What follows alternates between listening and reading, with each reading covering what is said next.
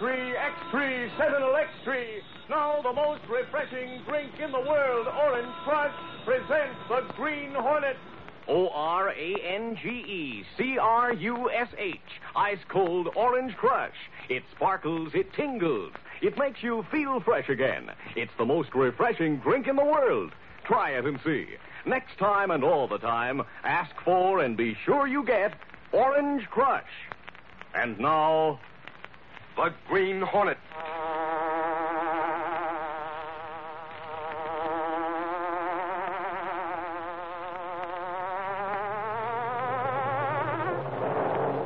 He hunts the biggest of all game public enemies who try to destroy our America.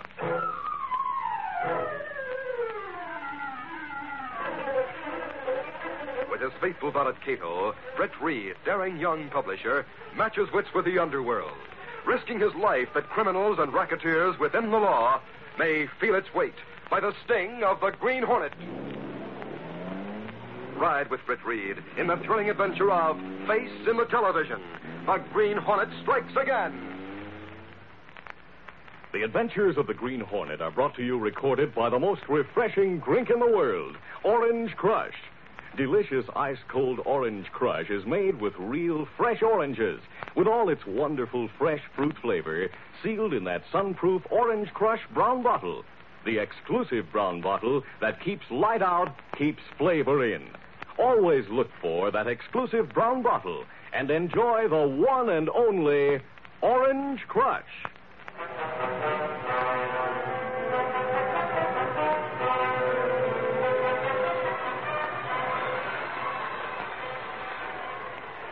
Looking man whose armband bore the word usher could hear the fight crowd cheering inside the arena. But after looking at his watch, he turned his attention to the rear door of the auditorium, the one that led into the alley. Yeah, Philly said they'd be here right on the dot. Now they. By golly, they are on the dot. We're here, Pop. Is everything okay? It should be. I'll look again, Phil. Just a minute. Yeah. Yep, it's okay. There's nobody around. Good. All right, boys. Come right in. Oh, The man called Phil stepped inside, followed by three figures, well dressed, yet furtive in their movement. The collars of their expensive overcoats were turned up, half covering their faces, and their hats were pulled down over their eyes. You're sure everything's set, Pop? As far as I know, all the dicks are in the front of the house. Nobody's around the entrance to your box. Which entrance do we use? Go right past the dressing room there. The next one marked N, section 43. You can relax, boys. Everything's okay. Here you are, Pop. Yeah. Now, let's go, Pop. Good. Fifty bucks, golly. Thanks, Phil. You better wait for the next round to start before you go in.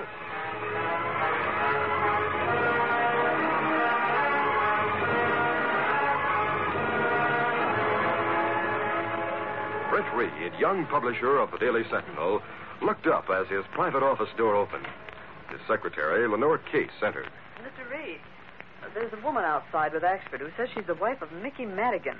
You know, the old rum runner and racketeer? Well, Axford says you might be interested in hearing her story. Huh? Well, I thought Madigan wasn't allowed in this town. Isn't he supposed to quit the rackets and settle down at some resort out west? Yes, but you see, he and his wife have been separated for years. Or so she says. She seems to be a little upset, Mr. Reid. Well, I'm just telling you what Axford said. Well, maybe she has a story. Send her in, Miss Case. Michael Axford led Judy Madigan into Reid's office and sat her on a chair beside the publisher's desk. There were traces of faded beauty in her troubled face, but the tone of her voice had a coarseness that had evidently always been there. Well, here's what it's all about, Mr. Reid. I could swear I saw Mickey on television last night. On television? Yeah. Uh, Mrs. Madigan was looking at the fights, Reid.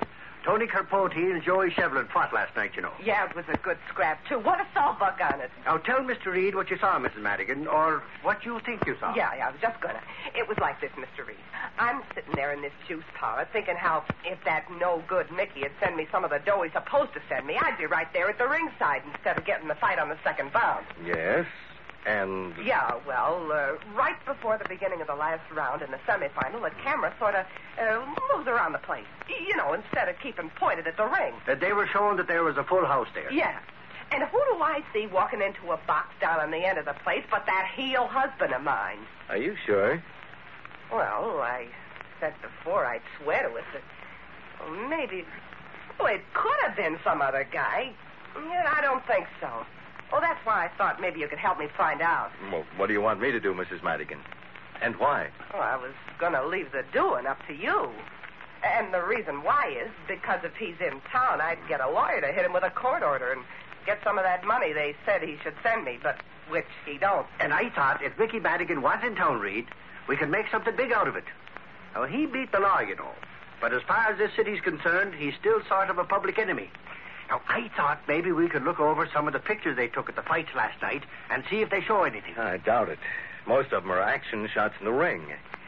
I think if Madigan were there, the police on duty in the lobby would have seen him enter or leave the place. Mm, that heel could disguise himself as a snake and crawl in. And he likes his fights so much, he'd chance a brush with the law to see a set two like last night. Uh, I can take her over to the photo morgue if you say so, Reid. Well, let's all three of us go. Maybe we can find something.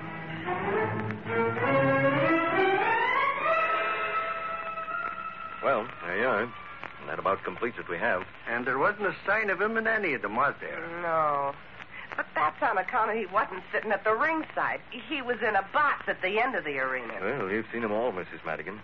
Uh, Joe, there aren't any more pictures on the fight, are there? Uh, no, Mr. Reid, not on the fight. I do have a couple, though, taken in and outside Capote's dressing room. Do you want to see those? They're right here. No, thank you, Joe. I don't about. But wait. We may as well look through them as long as we're here. Sure. Let's see him, Joe. Yeah, here you are. Well, this is no good. No, this.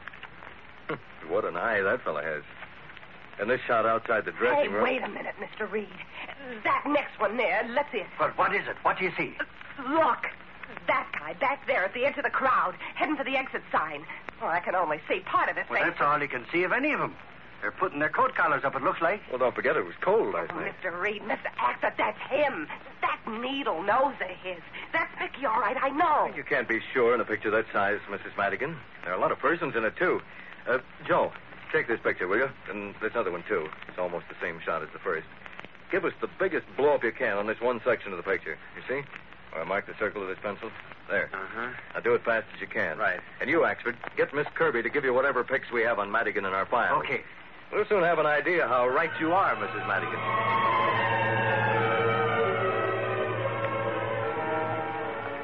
Oh, there you are, Mr. Reid. They come out very clear. Now, let's see then. Yeah, there you are, Mrs. Madigan. Yeah, that's him. That's him, all right. See, in this other picture, right by the door. that's him, all right, believe me. Hey, you know, she's right, Reid. Look at this one old shot here in profile. He's a little Hey, fatter Mr. now. Reid. That guy right behind him. That. Believe me, that guy is Yaya Lazuli. Did you say Yaya Lazuli? Glory be, let me get a look. Oh, but he was deported. He's somewhere over on the Riviera. I know these lugs better than you, Mr. Reid. I was married to one of them. That's Yaya, for sure. A short time later, Britt Reid and Axford, bearing the blown up pictures, were at police headquarters in Commissioner Higgins' office. What's the answer, Commissioner? You agree they're Madigan and Lazuli, don't you? Uh, yes, yes. This is, well, this is more than a surprise, Reid. It's in the nature of a shock. Because I can see you're more than right. More than right. Because that third man, the one a little behind Lazuli, that, Reid, is Darrell Brisson. You mean Pretty Boy? Yes, pretty boy Brisson. I had the pleasure of seeing him go to prison and of seeing him put on a plane for Mexico when he got out a few years back. But there he is. Oh, foodly oodly dee. The three greatest racketeers of our time back in town here. And the police have never been aware of it. Reid, don't break anything on this story, will you? Let's see what we can find out first.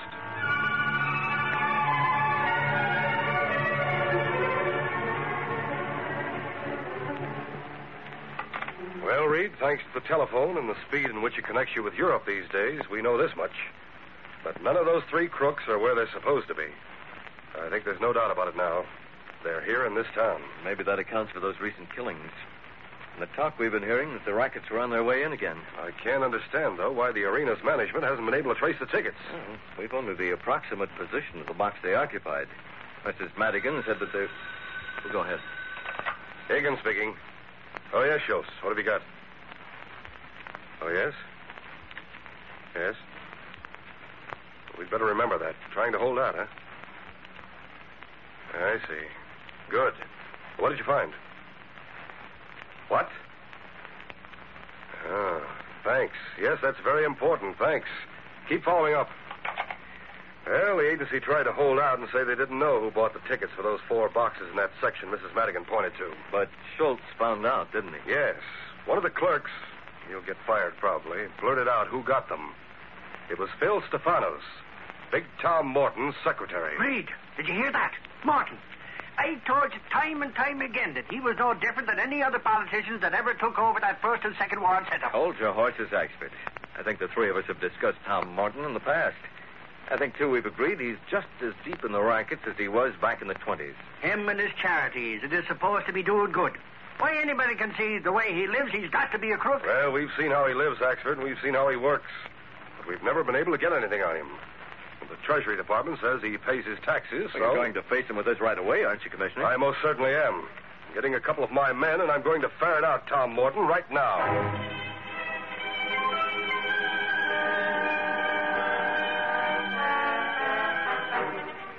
Police interrogation of Tom Morton was handled by the big political boss with an air of outraged dignity. I told you about them. I bought four boxes and put them at the disposal of the men attending the convention of the Ancient Society of Camels as a gesture on the part of the city. I don't know who got them. And as most of the delegates went home last night or this morning, it'll probably take us a few days to make contact with them all and find out who got the tickets. For three boxes. Do that. And you'll find when you check that there were four boxes used by them. And that the ghost your men saw in the fourth. Oh, you're going? Why don't you. So they were seen, huh? That stupid Madigan and his prize fights. I should have known it. Hello, Phil. Now, listen hard. You filed things up last night. You did. Now, shut up. Tell the boys to stay where they are, and I'll join them tonight. We'll get the syndicate set up in a hurry. Get them out of town till things quiet down. Yeah. But, uh, we've got a character we'll have to bump. Pup Gandy, that usher who let them in and out of the arena.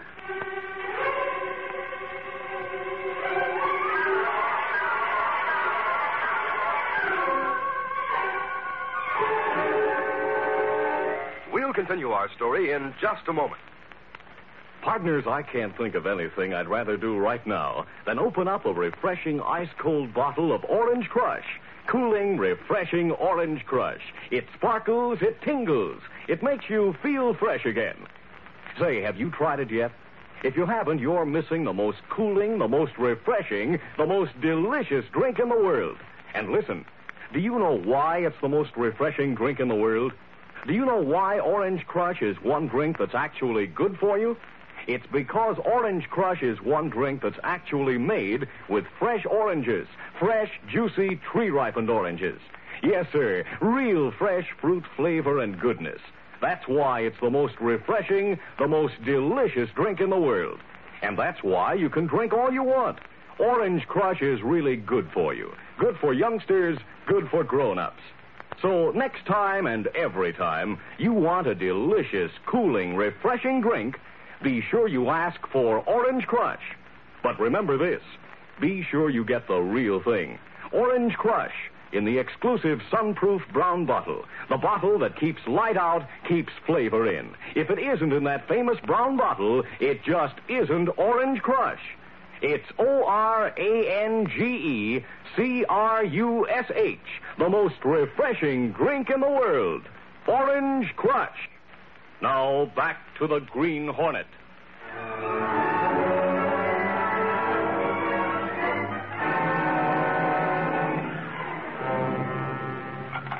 Britt Reid turned to his secretary, Lenore Case.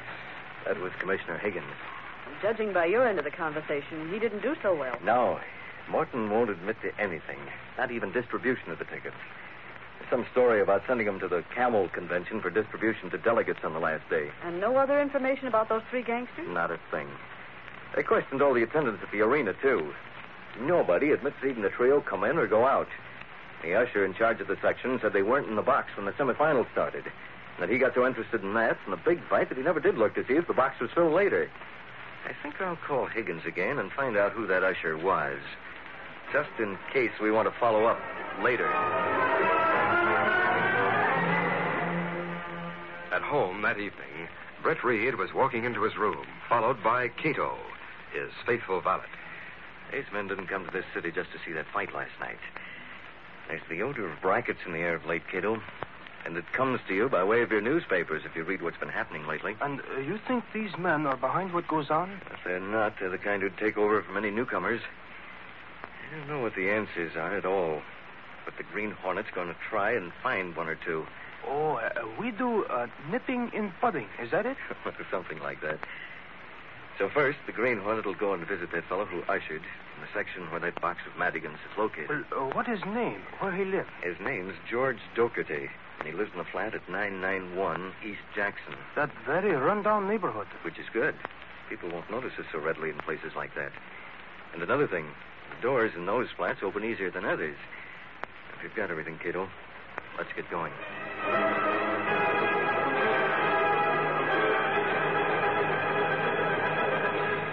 George Docherty was frightened into a panic by the sudden dramatic appearance of the Green Hornet. Within a few minutes, cowed by the Hornet's threats, he was gibbering his tale of the previous evening. I didn't want to lose my job because I would if the boss knew I went out before the fights were over. I took the ten bucks Pop gave me and went out like he said. He come down from the gallery where he works and he covered for me. I told the cops what I did because both me and Pop would have been canned if the boss knew. So this fellow Pop gave you ten dollars to leave your post. Why? Why'd he do it? I tell you, I don't know. Ten bucks is ten bucks, and I just ankled out like he asked. Come back after the fights to get my salary. Yeah, you would. Now come clean. Where does this Pop Now, live? don't touch me. I... I'll tell you. His name's Pop Gandy. That's all I know him by. He lives a few blocks from here, at 1031 Fair. The Green Hornet had left Kato and the Black Beauty on the corner of the street in which Pop Gandy's house was located. Oh, Mr. Britt, what happened? Let's get out of here in a hurry. Pop Gandy is dead. What? His body is still warm. And I saw the man who murdered him running out just as I came in. Golly, I, I see that man run out just as you go through alley before. Was he man who wore a check cap? Yes, but neighbors came in and saw me looking at the old man's body when I found it. I had to go through the window and down the fire escape. Where'd the man in the check cap go, did you see? Oh, sure thing, Mr. Britt. He jump in car. Car start, uh, stop at corner for traffic light. Then turn right under viaduct. We follow him? Now, if you can, certainly. Car can't be too far away. I know it if I see it. We catch it, don't worry.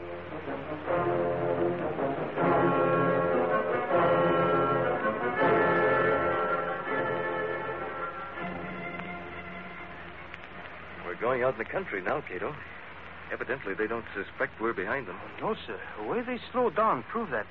Uh, maybe we call police now and tell them? Not till we know where they're leading us, Kato. If Pop Gandy was killed because he might say he saw Madigan in his crowd Well, last that's night. That's why he's killed, I think. So do I. If that's the case, the killer may be leading us to them. And if they ordered his death, we can't take the time to stop and call Higgins now, Kato. Not till we're sure of what's taking place and where they're going. Well, yes, I know that.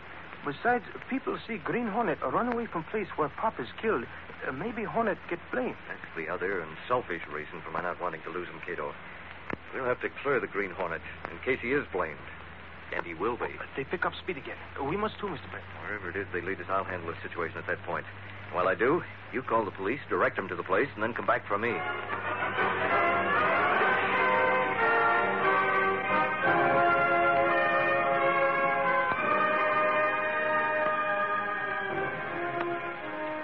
There were four men seated around the table in the living room of a cottage, which was located in a woods off the main road. Seated at the head of the table was Big Tom Morton. To his immediate right and left were Yaya Lazuli and Pretty Boy Brisson. Opposite him was Mickey Madigan. Each was reading one of the many sheets of paper in front of them. Morton was talking. So you see, boys, the setup is fair to every one of you. Now, if there's anything in your copies of our arrangement that needs changing, let's do it now. If not, I think it'll be a good idea if we get out to Bayview so you can get aboard that yacht. Uh, Yeah, what is it, Yaya? wait a few minutes, Morton. I've got to bring a good report back to my partners.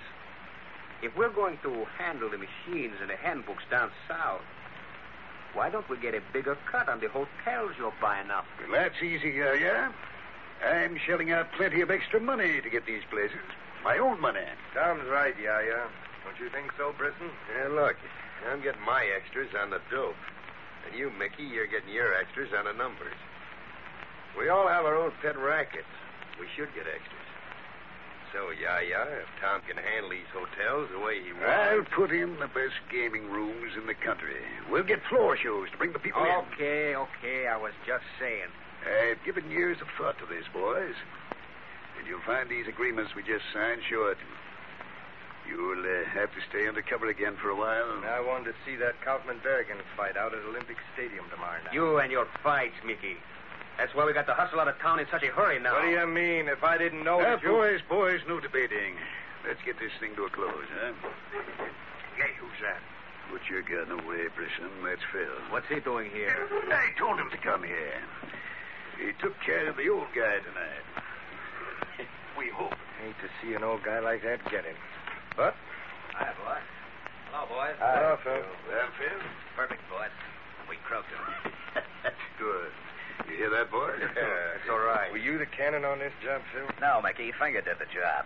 But when you hear this, you have the radio on tonight during the past hour? No, why? What's so funny? It came over the air.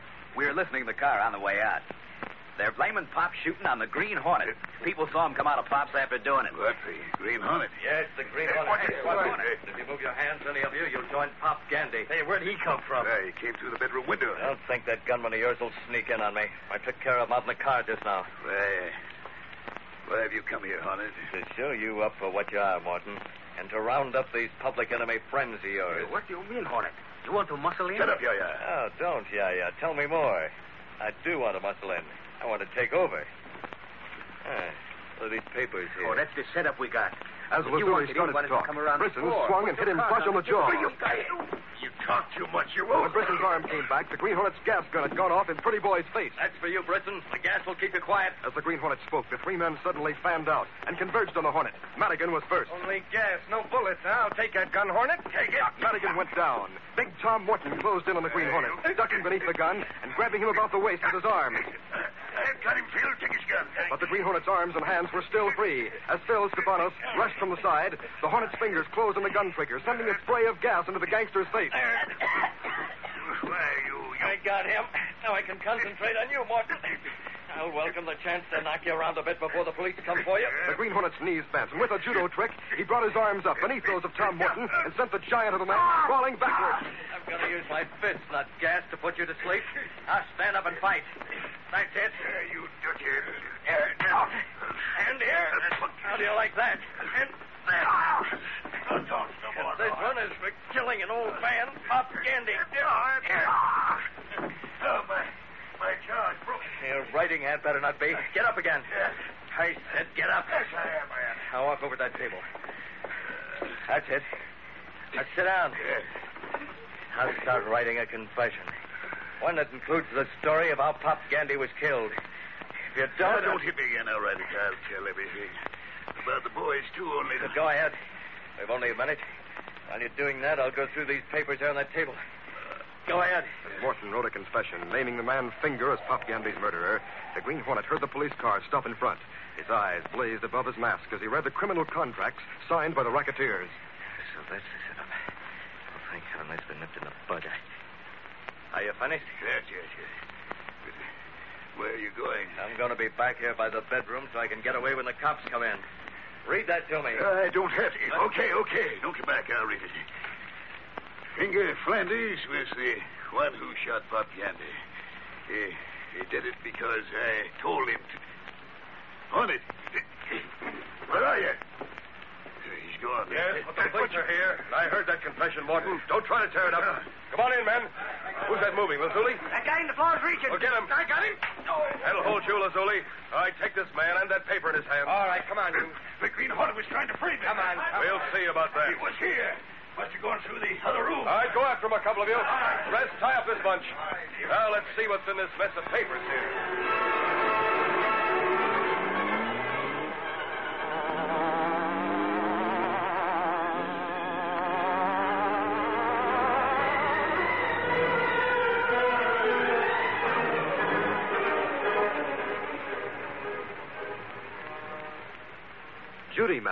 Was in Britt Reid's office shortly after the Sentinel Extra hit the street next morning. You see, I was right. I did see him on the television. And the good thing you did, Mrs. Madigan. You got the police started on something that prevented this country from being taken over by the biggest crime syndicate ever assembled. Those contracts they signed have never been equaled for criminal audacity. Uh, yeah, maybe so, but I I don't care about that. What I want to know is how do I get some dough from that heel husband of mine now that he's in the clink? I think you'll wait a long time, my dear woman. Well, Mr. Reid, Yes, Miss Case. Commissioner Higgins just called. There's no doubt now about Finger Flanders shooting Pop Gandy. When he was shown Morton's confession, he thought they were trying to railroad him. So he told the truth. And with the hope of leniency, he told of a lot of other killings that have taken place lately. It was all Big Tom Morton's doing. So he could take over the small gangs and have them ready for the syndicate. Well, that should send Martin to a warmer place than the cell he's in now. And it clears the Green Hornet, too, doesn't it? Of Pop Gandy's death, I mean. Oh, yes. He must have gotten there right after Pop was killed. Ah, he must have, must he? I have me grave doubts about that. I'll bet he was the one that thought of getting those racketeers back into this country and into the driver's seat again. He was too smart to put his name on paper, that's all. He don't sign anything. Uh, which reminds me, Reid. Will you sign this expense voucher for me? It's for taxi fare out to the country looking for the Green Hornet.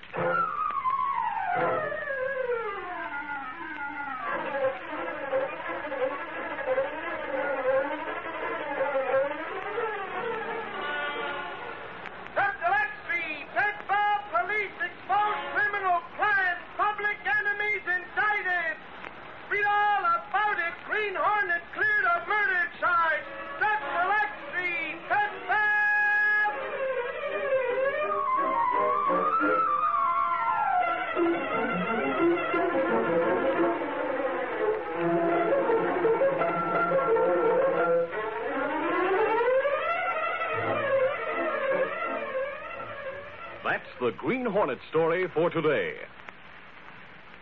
Another exciting story brought to you by the most refreshing drink in the world ice cold orange crush. It sparkles, it tingles, it makes you feel fresh again. Now, a special announcement. Please listen carefully. Beginning next Sunday, June 29th, the Green Hornet will come to you on a new day and a new time. The new day will be Sunday. So remember, beginning next Sunday, June 29th, tune in the exciting adventures of the Green Hornet each Sunday afternoon. For the time when it will be heard in your locality, consult the radio columns of your local newspaper. This program is a recorded feature of the Green Hornet Incorporated, created by George W. Trendle, produced by Trendle Campbell Meurer Incorporated. This copyrighted feature originated in Detroit, and all characters and incidents used are fictitious. The Green Hornet is brought to you by the most refreshing drink in the world ice cold orange crush. Remember, listen for the Green Hornet again next Sunday afternoon when you will hear the story of danger entitled Diamonds and Murder. And now, till next Sunday afternoon, so long from Orange Crush.